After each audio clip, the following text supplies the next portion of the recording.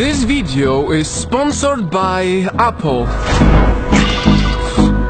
I mean this one, because I would never buy an Apple product if I didn't have to. But hey, before I dive into my frustration, it's Project Nightfall. Let me welcome you.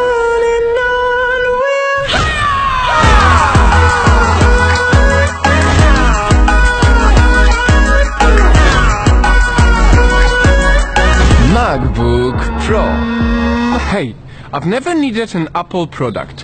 Up until now, I happily stayed in my Windows, Android world, and from that perspective, all I knew is that Apple products are very expensive, but also very reliable.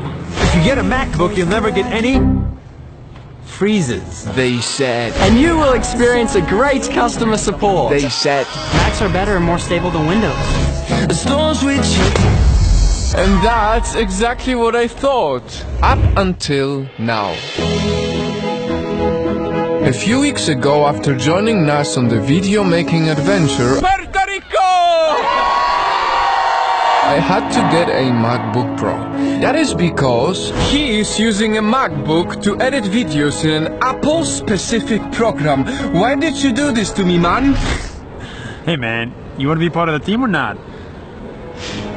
So I got the $3,500 MacBook thinking that I'm about to experience the fastest system on the earth! But I didn't. Instead, I literally got three freezes on my first day editing a video. It genuinely surprised me, so may the rant begin. Begin. $3,500 MacBook takes 10 seconds to load the Chrome browser, but only 1 second to load Safari.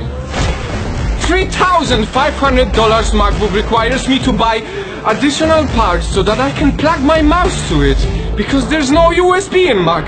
Come on, I had to pay $70 for it. Everything is USB. And finally, $3,500 MacBook Pro compared to my $1,200 Windows laptop works slower and less efficient. Look at this, my old computer edits faster, it barely freezes, and I had it for over a year now. It has all I need, and it never broke. And I hope my Mac better not break too, because when my friend Alyne needed her keyboard fixed, They asked me for $500 to fix my spacebar. Bar.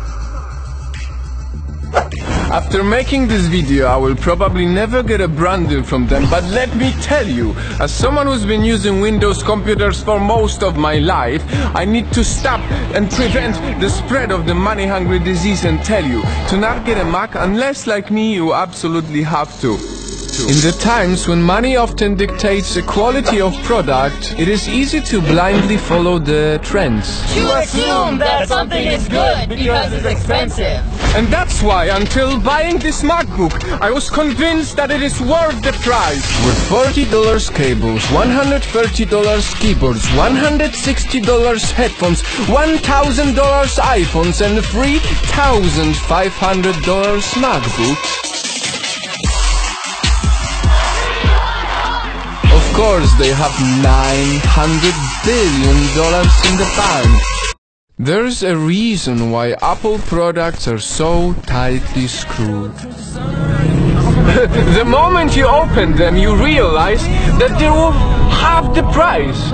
And that's why I will never buy an Apple product again.